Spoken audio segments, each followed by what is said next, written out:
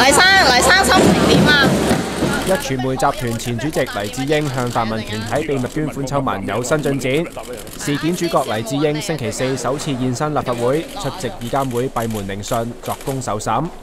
黎智英朝早九点几由公民党主席兼资深大律师余若薇陪同之下进入会议室作供，但成个过程其实大约只系得二十分钟。因为黎智英喺会议室作工十五分钟之后，一度离开去到隔篱嘅等候室，十分钟之后再入会议室，再隔几分钟就直接离开。黎智英喺聆讯讲啲乜？又系咪真系如会前扬言咁问乜答乜？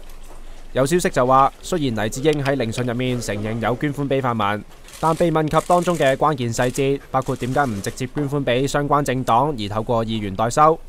黎智英就多次推说唔记得，同埋啲嘢系其他人搞嘅等等。访校前廉政专员汤显明嘅答辩技巧令一众委员冇晒符。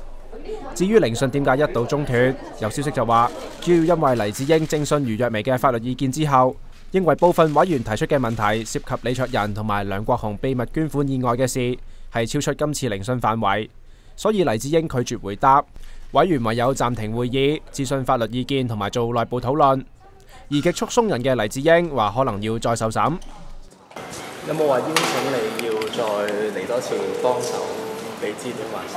有可能都要，如果要我咪要你自己有冇任何担心啊？嚟我都嚟我都冇所谓嘅，有咩担心啫？系嘛？咁原来系咪做你嘅法律顾问啊？将来点知啫？而二监会主席叶国谦会后对聆讯嘅内容就只字不提。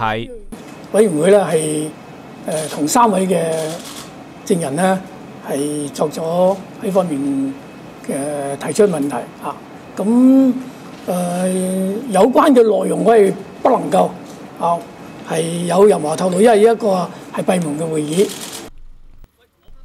东方报业集团旧年揭发黎智英喺一二至一四年之间。秘密捐款俾民主党同埋公民党等多个泛民团体同埋人士，合共超过四千万，但系收钱嘅议员未有向立法会申报，立法会而家会为此展开聆讯，陪同黎智英出席聆讯嘅余卓美系有份收钱嘅公民党主席，可能有瓜田李下嘅嫌疑。